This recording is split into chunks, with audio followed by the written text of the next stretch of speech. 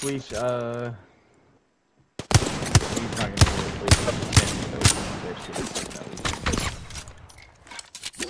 gonna do it, Fleece. A double headshot, another one. Down. These bonds aren't easily broken.